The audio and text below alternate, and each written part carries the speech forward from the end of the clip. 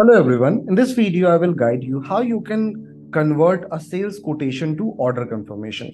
So first of all, you need to go in quotation module. On your left hand side, you will see quotation module option. Please click on this. Now, once you will go in quotation module, these are all the quotation which I have created. So I will open this particular quotation. Now, once the quotation is open, please check on your right hand side, very bottom, you will see an option of generate OC. So do remember this generate OC will only come if only items are added in quotation. If any services are added in quotation, then this generate OC will not come. You need to click on generate OC. After that, you need to assign a transaction timeline on this.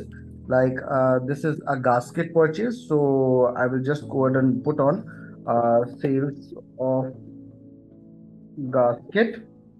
I will just define the dispatch delivery date so dispatch delivery date I am putting as on 15th of December. You can enter the PO number like uh, was this PO via mail, PO via email and the date of PO. I will just assign the date of PO by today. Uh, remaining details are coming from my quotation. So just need to recheck all the details. If there are any additional detail, you can go ahead and attach it like logistic term and condition. So in the term and condition, these are all the term and condition which are saved in my settings module so i will select it now going below there is an option of save draft or save and send if you need to make any changes later on you can save it as draft if not you can save and send this order confirmation. And this quotation is now converted into a final order in order confirmation. I hope this video will be helpful to you while converting a sales quotation to order confirmation. Have a good day